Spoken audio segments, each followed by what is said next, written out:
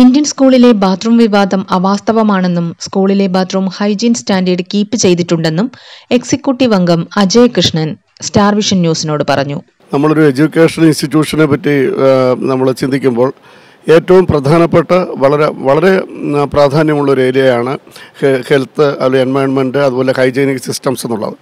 അപ്പോൾ നമ്മുടെ ഈ കമ്മിറ്റി രണ്ടായിരത്തി പതിനാലിൽ അധികാരത്തിൽ വന്നതിന് ശേഷം വളരെ ശുഷ്കാന്തിയോടുകൂടി നമ്മൾ ശ്രദ്ധിച്ച ഒരു മേഖല തന്നെ ആയിരുന്നത് കാരണം നമ്മുടെ ഒരു ഒരു പ്രസിഡൻസിന് പോലും സാധ്യതയില്ലാതെ ഒരു കംപ്ലൈന്റ് ഉണ്ടാകാതെ ഈ ഫ്രീക്വൻസിക്ക് അനുസരിച്ച് കുട്ടികളുടെ ഫ്രീക്വൻസി കൂടി വരുന്നതിനനുസരിച്ച് പ്രത്യേകിച്ച് ലേഡീസ് വാഷ്റൂംസ് അല്ലെങ്കിൽ കൊച്ചു കുട്ടികൾ പെൺകുട്ടികൾ ഉപയോഗിക്കുന്ന വാഷ്റൂംസ് അവിടെ ഏത് തരത്തിൽ ക്ലീൻ ചെയ്യണം അത് എങ്ങനെ മെയിന്റെയിൻ ചെയ്യണം ഓരോ ഫ്രീക്വൻസിയിലും ഏത് തരത്തിലുള്ള ക്ലീനിങ് മെറ്റീരിയൽസ് അവിടെ ഉപയോഗിക്കണം. അങ്ങനെ അവരുടെ ക്ലീനിങ് കമ്പനികളുമായിട്ട് തന്നെ നമ്മൾ നിരന്തരം ചർച്ച നടത്തുകയും നമ്മൾ നേരിട്ടെത്തി അത് സൂപ്പർവൈസ് ചെയ്യുകയും ചെയ്തിട്ടുണ്ട്.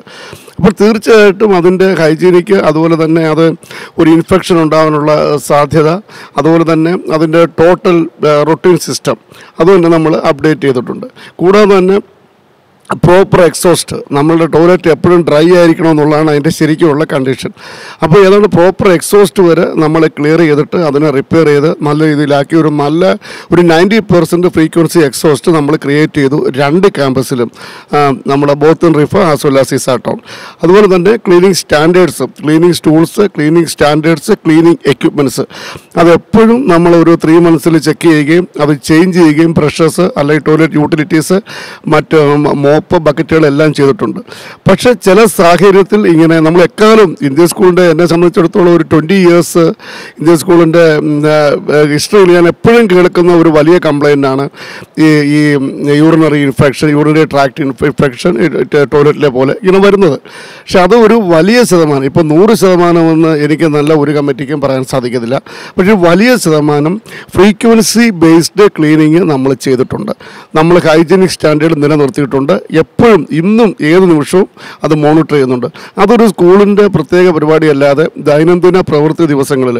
നമുക്കറിയാം അതിന്റെ യൂസേജ് ഏതാണ്ട് എബൌട്ട് ടെൻ തൗസൻഡ് അതൊരു രണ്ട് പ്രാവശ്യം ഒരു forty thousand twenty five thousand frequency അതിന്റെ ഉപയോഗം വരുന്നുണ്ട്. അപ്പം കുട്ടികളും നമ്മുടെ വീട്ടിൽ ഉള്ള പോലെ തന്നെ ശ്രദ്ധിക്കണമെന്നില്ല.